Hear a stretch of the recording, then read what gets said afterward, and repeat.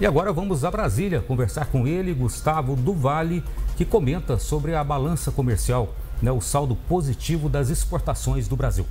Olá, amigos. A semana passada também trouxe os dados da balança comercial, já de fevereiro, que seguiram é, sinalizando que o saldo comercial deve continuar bastante positivo ao longo de 2024, contribuindo para manter o déficit externo em patamar contido e, principalmente, mantendo a atividade econômica e, consequentemente, eh, os empregos. A balança comercial registrou superávit de 5,4 bilhões em fevereiro, o maior para o mês desde o início da série, que começou lá em 1994, acumulando 106 bilhões de saldo em 12 meses.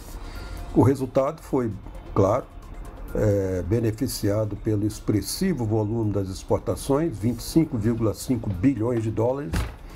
Também recorde para o mês, com alta de 16,3% ante fevereiro do ano passado. Já as importações ficaram em 18,1 bilhões de dólares, praticamente estáveis ante o resultado no mesmo período é, é, de 2023.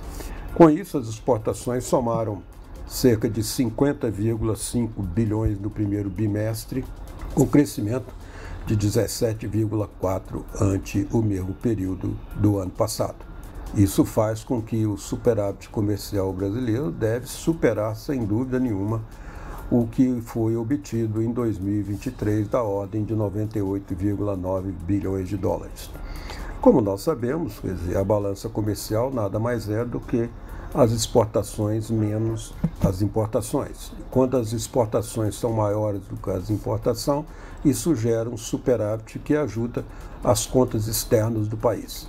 Mas o melhor mesmo é que quando aumenta a exportação, com certeza absoluta, isso é, é resultado de um crescimento da indústria né, e, consequentemente, dos empregos, que é o que efetivamente nos interessa. Por hoje é só, um grande abraço a todos e até a próxima, se Deus quiser.